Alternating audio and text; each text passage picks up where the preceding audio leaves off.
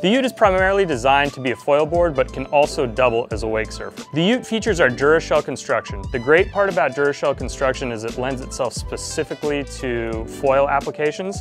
It's very durable on the outside with its plastic composite shell and the internal EPS core is very lightweight and buoyant. As seen here, the Ute features its accessory foot strap kit. Uh, the foot straps come with the Ute board. Uh, great option for beginner riders needing a little extra connection to the board, but for uh, more advanced athletes, for like Grub or Noah, that do go vertical on the board, they're a great way to keep your foot in place. The Ute features a fully machined EVA top deck, which we've extended this season to uh, slightly further up the nose, just to give you a little bit more uh, ability to walk further up the nose if you need to while foiling.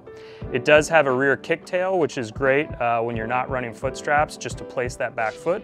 As you can see on the base of the board, the Ute is set up with our standard M6 aluminum track system for foil application. We also feature two fin boxes if you do want to wake surf the board, so you can add the included fins on.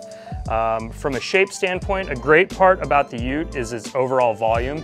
It's very buoyant, but it also makes it very forgiving when the board is coming down and slaps the water when you're learning to foil. The Ute's available in two sizes, a 4.5 and a 5.0, uh, which gives all the size ranges needed for any uh, body size or ability level. Uh, it is truly a utility option, a great option for foil or wake surf application.